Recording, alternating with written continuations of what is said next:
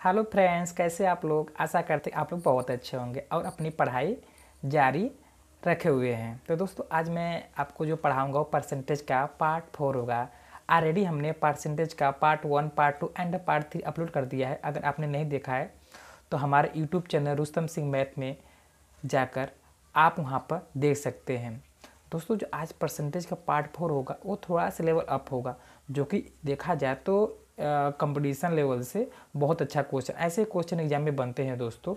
अब मैं दोस्तों, मैं आपको बता दूँ कि मैं वही क्वेश्चन कराऊँगा जो एग्ज़ाम में ही पूछे जाते हैं। हालाँकि एग्ज़ाम पॉइंट से बहुत इंपॉर्टेंट क्वेश्चन होते हैं। तो दोस्तों स्टार्ट करते आज पहला क्वेश्चन है दोस्तों।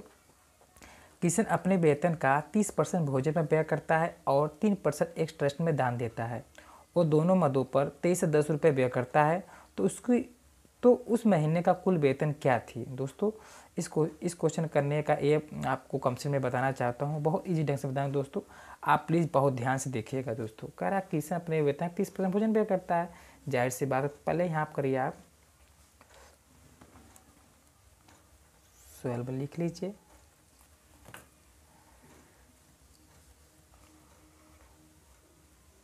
तीस परसेंट और तीन परसेंट ट्रस्ट पर प्लस थ्री परसेंट बराबर हमने कैलकुलेट किया थर्टी थ्री परसेंट है तो हमने मान लिया उसका वेतन क्या है? यक्स है। यक्स का तैंतीस परसेंट बराबर किसके होगा? आपका तेईस सौ दस के बराबर। इसलिए यस का तैंतीस अपन हंड्रेड अपन तेईस सही। जो हमने इसको कैलकुलेट करके देखा ये इसको कैलकुलेट कर दिया तो ये सात बार में चला नहीं, सत्तर यहाँ आ रहा। तो एक्स का सेवेंटी इंटू हंड्रेड कैलकुलेट किया तो सेवन थाउज़ेंड इसका राइट आंसर होगा, जो कि आंसर ऑप्शन नंबर डी में है। आशा करता हूँ दोस्तों, ये क्वेश्चन आपको ज़रूर समझ में आ गया होगा। दोस्तों तो चलते हैं नेक्स्ट क्वेश्चन पर दोस्तों। तो दोस्तों नेक्स्ट क्वेश्चन आपके सामने स्क्रीन पे हमने लगा दिया है। इस क्वेश्चन को आप लोग करने का ज़रूर प्रयास कीजिएगा। आशा करते हैं कि ये क्वेश्चन आप ज़रूर सोल्व करेंगे। अगर नहीं सोल्व करते हैं दोस्तों, मैं आपको बताऊँगा। तो क्वेश्चन तो दोस्तों सोल्व करते हैं। तो कह रहा एक चुनाव में दो उम्मीदवार ने भाग लिया। उनमें से एक को साठ परसेंट मत मिले और वह सोलह सौ मतों से जीत गया। तदनुसार डाले गए कुल मतों की संख्या कितनी थी? दोस्तों, कोई भी जो होता है परसेंटेज क्या होता है? एक हंड्रेड में होता है। मान लीजिए क्या उसका हंड्रेड परसेंट रहा होगा? क्या रहा होगा उसका हंड्रेड परसेंट अब इसको मैं इस इस इजली ढंग से आपको बताऊँ। कह रहा है कि दो, ज़ाहिर से मान फ़र्स्ट को कितना मिला है दोस्तों? सिक्सटी परसेंट तो सेकेंड पे ज़ाहिर सी बात मिला होगा आपका फोर्टी परसेंट इसमें नो डाउट तो हमने जब सिक्सटी परसेंट और फोर्टी परसेंट को जब इसका डिफरेंट निकाला तो डिफरेंट आपका आया ट्वेंटी परसेंट ये किसके बराबर है? ये जो है कि सोलह सौ मतों के बराबर है। तो हमने मान लिया कुल मतों संख्या क्या थी? यक्स की। यक्स का ट्वेंटी परसेंट इक्वल आपके हो जाएगा सोलह सौ।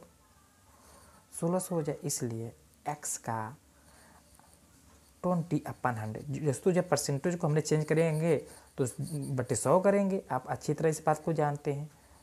तो इसको हमने काटा ज़ीरो ज़ीरो से, इसको काट ए आगे आपका एट्टी।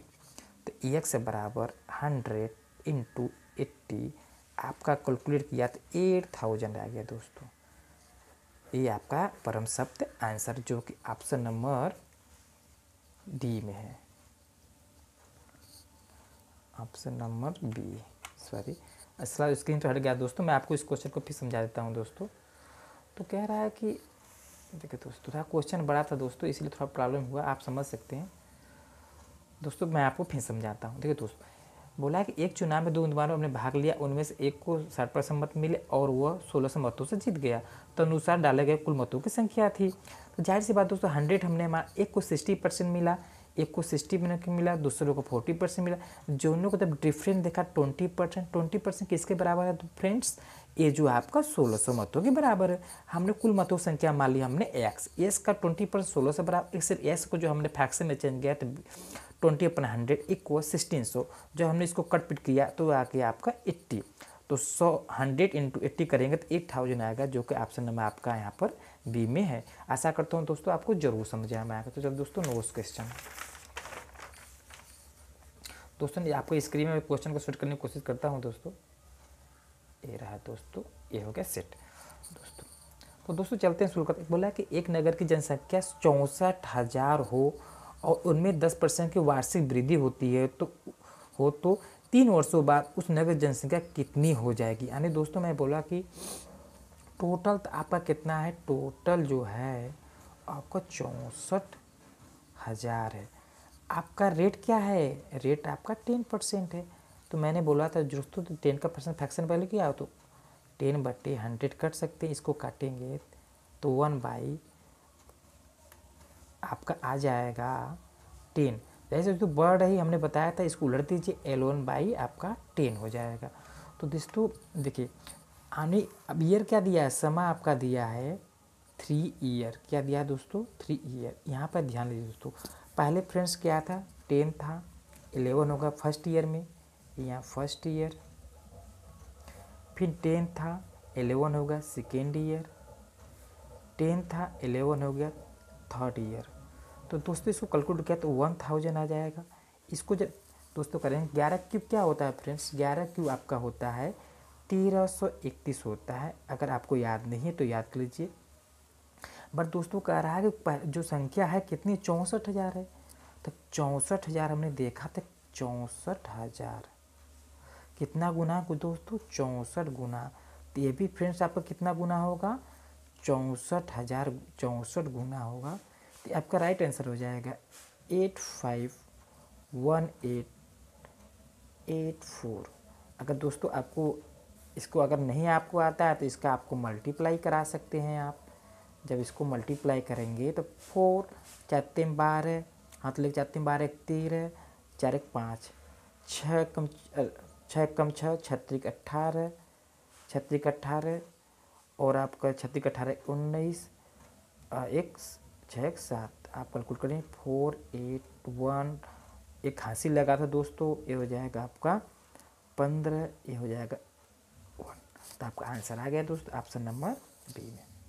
आशा करता हूँ दोस्तों, आपको ज़रूर समझ में आएगा दोस्तों। चलते हैं दोस्तों नेक्स्ट क्वेश्चन पर। दोस्तों, मैं सिलेक्ट कर लेता हूँ उस क्वेश्चन को, उसके बाद आपको सोल्व करता हूँ। तो दोस्तों, ये रहा आपका लास्ट क्वेश्चन दोस्तों। एक नगर की जनसंख्या पंद्रह हज़ार है। यदि उनमें पुरुषों की संख्या में आठ परसेंट और स्त्रियों की संख्या में दस परसेंट वृद्धि हो जाए तो जनसंख्या बढ़कर सोलह हज़ार तीन सौ हो जाएगी। तदनुसार जनसंख्या, तदनुसार उस नगर में स्त्रियों की संख्या कितनी होगी? दोस्तों, इस क्वेश्चन करने का आपको बहुत सरल मेथड बताऊँगा। जैसा कि आप लोग साथ नहीं देखे होंगे। अगर देखे होंगे तो अच्छी बात है।